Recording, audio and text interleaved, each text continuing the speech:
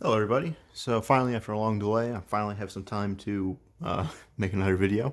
So as promised, this is going to follow up on my previous Phenom uh, build. This is the HD995, uh, or what's called really the Phenom X4 9950. So this is a 2.6 gigahertz quad core original Phenom line uh, CPU from AMD based on the K10 architecture it fit into socket. I think it's designed for socket AM2 plus, but it could also fit into AM2 socket motherboards if it is compatible with the BIOS. Uh, let's see if I'm reading anything. Uh, main limitations are the same that apply to um, the Phenom 2. This lacks SS, SSE 4.1 support and obviously AVX instruction sets. So uh, this is the Black Edition CPU, uh, so it's like I guess it's it was like their probably their flagship. It was released in the Q1 of 29 of 2009. So by now it is 12 years old. Uh, going to be 13 years old soon. Uh, the process core's code name is Agena K10, like I said. Instruction sets include MMX 3D Now, SSE 1 through SSE 4A, AMD 64, AMD V, and the usual. So this is DDR2 CPU, uh, DDR2 only.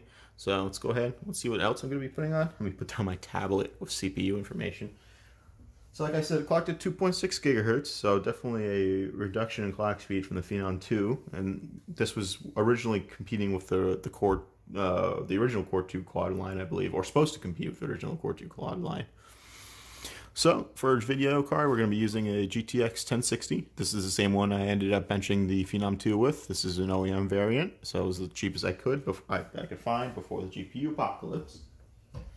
Our motherboard is going to be this Gigabyte AM3 AM2 Plus motherboard. I believe this is, if I read it correctly beforehand, this is a 785 something. Here, let me see if I can find it on here. That's good. Oh yeah, here we go. This is a GAMA785GM-UH2S. Or US2H, sorry, if I can read correctly too as well. So this is AM3, AM2 plus based system. Uh, this is these are DDR2 memory slots. Oh, wait, if I put this in the frame, these are DDR2 memory slots. Uh, we have a single PCI Express 2.0 uh, 16x connection, uh, 1x connection, two conventional PCI slots. We have five SATA 2 ports, uh, an IDE port, floppy connector port, uh, 8 pin CPU power connector.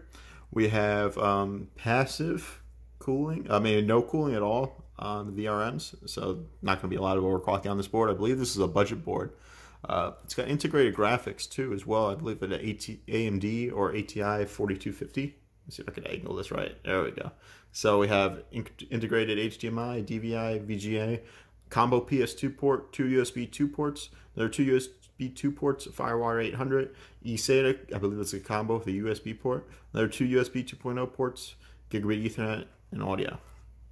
So this is what's going to be the basis for the system. So that's going to be combined with these G.Skill um, F2 6400 CL6S 4 gigabyte NQs. These are 4 gigabyte DDR2 800 megahertz modules. These are not buffered. I believe it'll work in the system. Otherwise, I have these um, 2 gig Super Talent modules that I'll use in, in case. So otherwise, I'm hoping to be able to use these for 16 gigs of memory instead of using these for 8 gigs of memory, but we'll see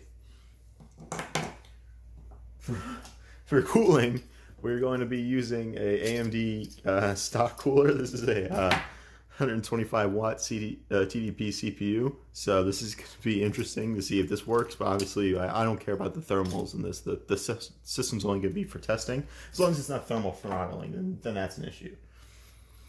To storage is going to be the same as previous. We have a 180 gig SATA 3 SSD. It's going to be running at SATA 2 with Windows 10 and a 750 gig. Uh, that's just an old laptop hard drive I had that I use for Steam games. So I'm going to go ahead, get everything up, set up on a test bench, uh, boot it into the BIOS, and we'll uh, go over the BIOS. Uh, we'll go over um, the system configuration I end up going with, and then we'll install Windows 10, update all the drivers, and we'll play some games, do some benchmarks.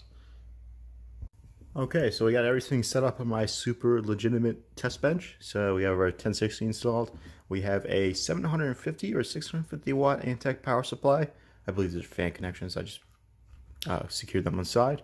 Uh, we have our power connectors all hooked up, CPUs installed, RAMs installed, uh, video, uh, I said the video card.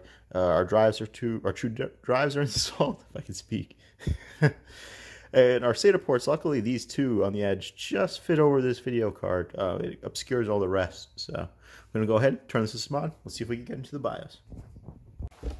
So you can see we got into the BIOS just fine. Um, I had to boot this up first and disable the internal graphics. It kept trying to output to that. So I disabled the iGPU and now we're running on the 1060 with no issue. Looks like our memory is clocked at auto at 800 megahertz. That's fine.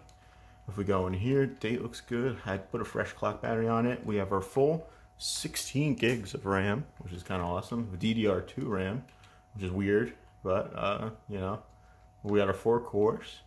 Uh, got everything looks pretty good. I had to go into the hard disk priority and just make sure that the SSD was the first one to boot up. And I had to also change this to boot the uh, PCI Express graphics card first. So let's see, is there anything else fun in here? I have HDI on. Oh, no, this is definitely what we call a uh, a limited BIOS. Not a limited BIOS, but uh, not as a feature. Like, you know, modern BIOS has got, you know, GUIs and everything crazy. And this is just the classic, list everything, you change it, you know. I kind of like these better, to be honest.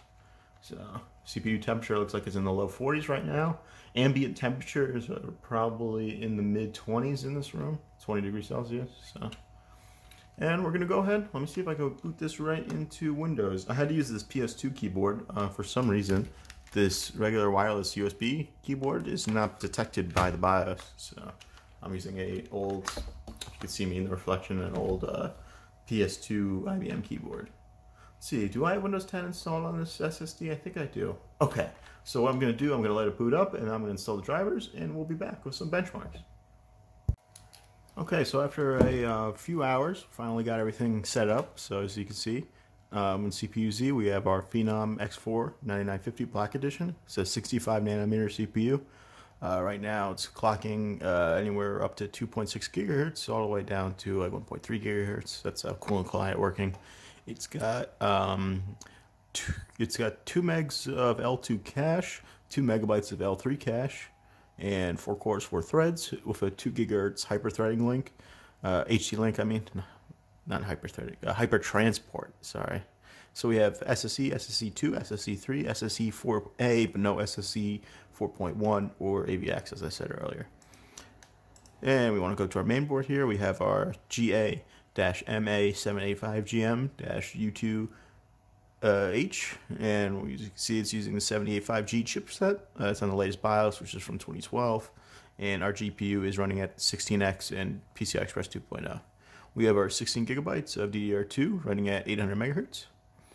And you can see we have our GeForce 1060. It's up to with the latest NVIDIA drivers. Uh, date of uh, June 8th of 2021. And um, see the temperatures. Temperatures, the CPU is definitely running a little hot, but that's expected of that dinky stock cooler we have on there. Uh, my WD hard drive is definitely sitting, um, or I mean, it's definitely spitting out some annoying noises. So it's probably angry at me for treating it bad, but um, hopefully it'll handle my games still fine. Uh, it took a long time to download all my games, uh, or download all the updates for the games I want to run. That's mainly because of slow hard drive speed. I actually have a, a gig fiber connection to my apartment, but the hard drive is obviously the bottleneck. If I had a game SSD, it would probably have gone faster. And the CPU. My general thoughts of using this computer so far is that it's, it's definitely usable, but multitasking, especially with only multiple game launchers I have running on it uh, to demo all these games, it, it's slow. It, it really slows down. So, and you could tell uh, the age of the system. But for general use, it's still fine. Like I'm able to use it to browse the internet and you know install, download, install programs. Just just like everything, as soon as you start getting into heavy multitasking, the age of the platform really starts showing itself. So I'm going to go ahead. I'm going to run a Cinebench R15 run. And then after that, I'm going to run a Passmark test. Ignore the RivaTuner statistics. Uh, I could minimize them out, but I'll just leave them up for right now. Uh, I'll go ahead and run the Cinebench and then run the performance test, and we'll see the results. So after a few tries, we finally got a Cinebench um, run to work. Well, I mean, well, Cinebench and a Passmark, but the Passmark is only partial. I'll go into the details there in a second. But as you can see, we have a absolutely pathetic uh, Cinebench R15 run. We have a total score of 223, which really slots us around a mobile third gen Intel CPU at 1.7 gigahertz. So it's it's it's bad. Basically, the the CPU is really showing its age. You'd get better performance probably with a Core 2 quad, and or I mean even a little bit of an overclock would help in this case. But with the motherboard I have, it's definitely wouldn't be able to push the CPU any higher than it, than it already is. So at its stock clock. In terms of a Passmark score, I was unable to run the 3D mark. It keeps crashing. I don't know if that's an issue with the CPU or the program or the GPU, but 3D marks it just keeps it keeps uh, failing. So I did a partial uh, run right now. Our CPU is in the seventh percentile, which is uh, I guess pretty bad. Our 2D uh, mark is in the 32nd percentile, which is I guess decent. Memory is in the fourth percentile, so DDR2 is basically dead in terms of like any performance. You know, think of it, it's going to be three generations behind pretty soon. So and every generation it doubles the speed. So. And then in um, our disk mark, we got a, a all right 21st percentile, even though we're running on a solid state drive. It's obviously capped at SATA 2, so that, that that's the reason why uh, the score is low. I'm going to go ahead and try to run the 3D mark again, and if it works, I'll record the scores. Otherwise, we'll go into some games. The Passmark uh, GPU test failed again, so um, I'm going to go ahead and just like, ignore that because um, I'm kind of a little bit time limited here, so I want to try to get some game benchmarks done and wrap this video up. So I separated the games I want to test. I'm not going to test all of these, but these are some that we can play. Uh, the ones on the left are ones that probably will work, according to mine. Uh, I'm just guessing. But these ones on the right definitely won't work. I believe they all require new CPU instruction sets. So we'll try some games on the left, and we'll see how they perform. First game we're going to try is Minecraft, so this is the latest version. And here are the settings. We're doing fast graphics, uh, VSync off, unlimited frame rate, and I left everything else default. So, you know what, we actually turn the clouds off as well. FOV is normal, let's go ahead, and we'll just play a game real quickly. Uh, yeah, that's fine. Uh, create new world, okay. It's been a while since I played Minecraft, so... But I thought this was an appropriate game to test this setup with. Obviously, the GPU is powerful enough, but it looks like we are maxing out our CPU. It's definitely getting hot, too, as well. It's definitely not a cool room in here, so... This is really going to take this long? 0%. I don't know, I haven't seen this before. Okay.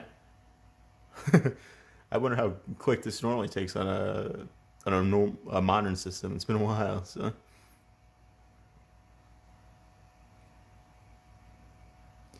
So we're at 28%. Our CPU is crunching along. Some uh, very important YouTube content here. So the other games, I'll see if I could just cut to allow him, you know, in game. So. Or I should probably, this is my first time playing Minecraft on this test setup, so I probably should just get it ready in the first place. Okay, we're 100%. Join this world. Okay, so it's going to be a little slow loading all these chunks in. Oh, look, we spawned right next to a village. Okay, let's let me, let me let these chunks load. It's weird. You can see the FPS. Let me go full screen here. Is that still F11? Yeah. Uh, yeah, um, our FPS is now, this is at a 1200p resolution, and our FPS is, I consider this playable. well, I mean, I haven't done any optimization here, but like, for Minecraft, you could, mm, if you turn down the chunks and all the graphic settings, we'd probably be getting a lot higher frame rate. But so at this state with these just default settings I made, and the um, frame rate we're getting, which is you know anywhere from uh, 20 to 30 to 50 FPS. It's usually I can see when the chunks happen. That's when the FPS drops. Oh, it's actually in 60 in some areas now. The chunks have loaded up, but you, you can see the frame times are terrible because like when the chunks are loading in. But when you have all the chunks loaded in and stuff, it's not bad. So this is definitely playable on this configuration. Definitely not most power efficient configuration. So let's go ahead and try another game. So this is uh, another popular game. This is, uh, if you couldn't tell, Fortnite.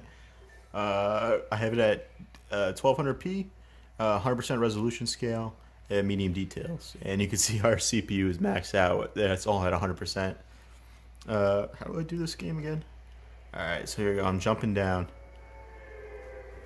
I'm also trying to get my audio a little bit more centered. It's just difficult to play with the camera in front of me. Here, go down, down. How do I... What am I doing wrong here, people? I'm a professional at this game.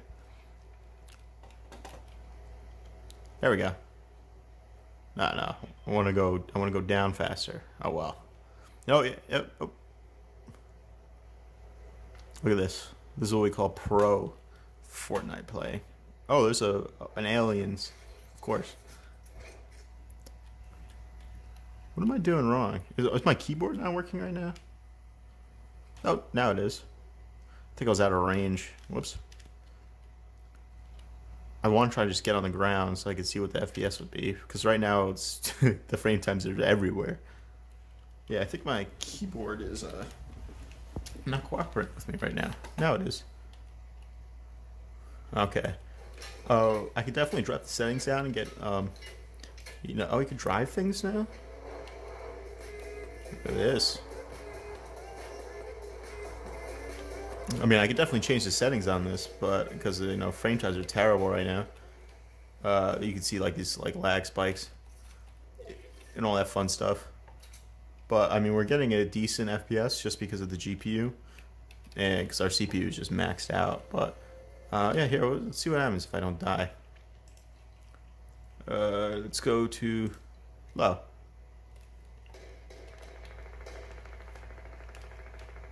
Oh wow! Now, now this is graphical uh, fidelity.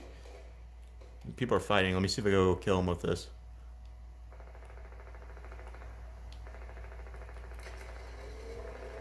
I don't even know what I'm doing. Yeah, these frame, these the FPS is just not good. I could probably get away. You could get away playing if you didn't have to load in these new sections and hit the CPU. Is there a horn on this? Probably just gonna leave. Has no one even decided to try to kill me? I'm doing solo, so I don't ruin anyone else's game. Here's shooting. There's a ton of shooting going on. See if I can just go hit somebody with this. Is it a fish? Uh, I was about to, I was about to say FPS is the frame time. Oh, there's somebody. See if he wants to lift.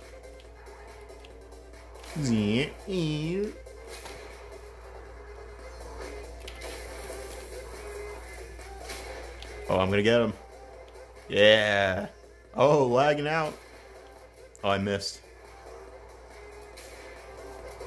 I'm low on fuel, low on gas. this is ridiculous. Oh, am I gonna get him? Yeah. Ooh, got him. oh man, I feel bad for that person.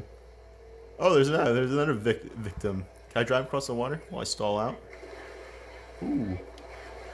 Surprise.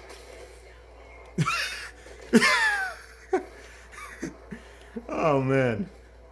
Fear me, I am the professional Fortnite player. I'm the Phenom 9950 Black. Oh, I'm out of gas? Aw. There you go. I'm winning this game, you know. Chicken dinner all mine. Nah, I'm probably gonna quit out. I gotta test a new game soon. Look at this, you know. You have we have it on terrible graphics mode, but I mean, I guess it's technically playable. I mean, like, yeah, the, it's these lag spikes that get you, uh, you know, the frame time spikes that get you, and that'll probably like prevent you from being like you going pro at this game, but it works. There's somebody else. Let me see if they'll kill me. Oh, someone's doing that for me. Nah. Dip, dodge, stuff. Boom, boom, boom, boom. Look at this accuracy. I've always been known for my accuracy. Oh, oh. She's got a shotgun. Oh, get wrecked. Look at this. I'm on a rampage, you know? I really need to start playing a... I really start needed testing out a different game, but... Where's that person that's shooting me? I want them to kill me. So I have an excuse. I don't even have shields or anything. Here, I just start, you know, dinner bell. Come on, people. Ah, you know what? I'm just gonna quit out. I'll take my victory. So we're gonna go ahead and roll. We'll try another game. Here we are running the GTA 5 benchmark. Um, as you can see, we're averaging you know, in the mid 60s right now, uh, mid to upper 60s. Uh, this is at 1200p, I believe medium settings or whatever settings it defaults to. So we'll I'll let it run and then we'll see what score we get. Okay, here's another. Um, uh, swiftly onto another game. Uh, we're playing Halo 4 now. The GTA 5 benchmark ended up finishing, but I didn't capture the results. Let's say in the urban areas, it ended up going down into the mid 30s. With further op optimizations, it would definitely be playable. It wouldn't be optimal, but it'd be playable. Uh, my mice keeps cutting out here. So here's Halo 4 from the Master Chief's Collection, and it's running pretty fine. So you'd be able to play this and probably all the other games in the Master Chief Collection with no issues. So if my mouse was, you know, better. So what if I do this? Oops. Oops. Sorry. Alright, let's go ahead and we'll try another game. So now we're playing Doom 2016. Uh, this is the Vulkan mode, uh, Vulkan rendering mode at 1200p.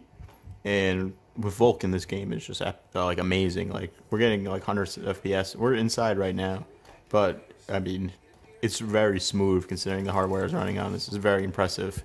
If the new game was able to run on older CPU instruction sets, it probably would be able. We probably be able to get some, you know, decent performance. But like this is, I want to try and see if I can get to some, you know, action. There we go.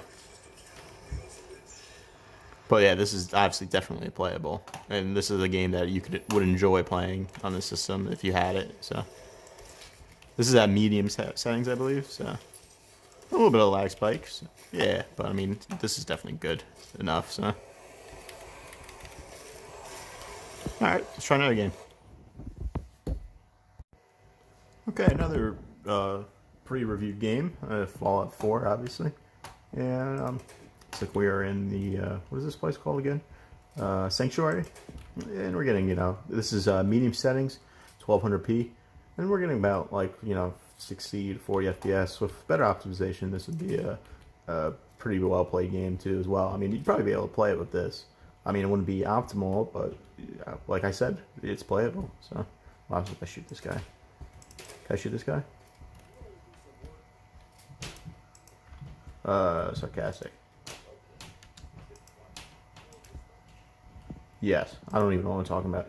Right, let's go ahead we'll try another game. So. So the last game I'll be testing is another classic. This is CSGO.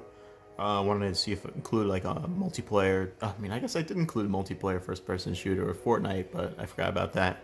But uh, a little bit more. Um, I, I was about to say competitive, but both games are pretty competitive. I guess a little bit more. Uh, let's just say different. So I'm going ahead and just loading into a Dust 2 deathmatch. For some reason, I don't have any um, FPS counter. I don't have either, but I think this is running at 1200p medium settings. So uh, taking a little long time to load. Uh, I don't remember CSGO taking this long, but I've heard that they bogged down the game quite a bit. But so far, uh, the slate of games we tested, uh, this really runs true is that... Here, let me turn this volume down a little bit. the, the games work obviously it's just that they don't work well i mean that, that's to be expected i don't need Shadamas over here but um, with better optimization you could run them a lot better. So i mean i don't know if you want to pair um, oh there's voice chat in here. Let me turn this off. Sorry. Okay let's just play um, ct real quick. Show my skills. Look at that no scope. No scope. Ah, i got killed by the bots. I'm probably just as good at this game as I am in Fortnite. So, just, I mean, there's a lot of lag spikes on. We could probably lower the settings and stuff. I mean, if you're just playing this game for fun, it'll work. But I mean, obviously, you're not gonna be playing this system casually. I mean, you're not gonna be playing on this system professionally or you know competitively. But if you want to just have fun, I mean, it should work. I mean, as you can see, it's working right now. So, okay, so that goes it for um, game testing. I'm just gonna go, uh, you know, get my general thoughts. So let's exit out to the desktop.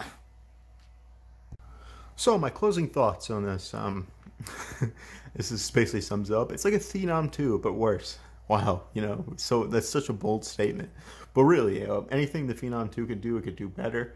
So I would not go out and obviously, you know, build a platform with these components. But if you have the components, you could still make them work for, especially, you know, an office PC, a home PC, light, you know, esport gaming. It'd still work as long as the CPU instruction sets are. I mean, the games that you want to play uh, don't need AVX or SSE 4.1, 4.2. You're good to go, really. Uh, you could pair it with a, a, definitely a weaker GPU. You know, maybe something from the Kepler series or maybe like a Radeon 7000 series GPU. Uh, anything. I mean, a 1060 is overkill. Uh, we were definitely CPU bound, if you couldn't tell. Uh, multitasking is all right. Um, it works. I mean, obviously it's four cores. They're just slower. Uh, I want to say that a Core 2 Quad probably holds up better today. I think it was the faster choice back in the day, and it's definitely the faster choice now. Um, hmm, let's see some some positives. Uh, not many. it's a that especially this CPU is 125 watt TDP. It puts out a lot of heat. It takes a lot of energy. It's not energy efficient. You're much better off with a Phenom. Uh, maybe one of the lower. There's a I think the B series, not the Black Edition series, but I think there's like a lower TDP, like a 95 watt TDP CPU. You're better off with that. You're better off with a um, a Core 2 Quad 9000 series CPU, like maybe like a 9550. I think that's a 2.83 gigahertz quad, Core 2 Quad. A lot more power efficient. Obviously, the, those are 45 nanometer. This is a 65 nanometer chip. Uh, yeah, so I, I would probably title this video like a Phenom 2, but worse. But um, it's really, I mean, obviously, like I said, it's a usable CPU, but in terms of the three R's of uh, reduce, reuse, recycle, first you want to like reduce your usage. Oh, you want to reuse, which is the second most important one. So, I mean, if you have a use case for this that makes sense and where energy, you know, is either provided to you renewably or is cheap, then yeah, that's fine to reuse the CPU. But really, I think you get to a point where certain like chips are just not worth it in terms of energy efficiency. So, like, you know, you could get a low, you could get like a no, I wasn't gonna say Raspberry Pi. I mean, maybe you can these days. You get a Raspberry Pi that could do almost just about as much as this, obviously without the x86 compatibility. But um, just like you get a like an AMD APU that will blow this whole setup out of the water. Not the GPU side, but definitely the CPU. Everything else, it'll blow out of the water and it'll consume a fraction of the power. Okay, so that's it. Um, I think for my next video, I might do a restoration. I haven't done that yet. I have an old desktop that I was giving, uh, old being a Windows Vista desktop, and I want to see about restoring it. Um, like I said, don't like, don't comment, don't subscribe, and um, I'll see you next time.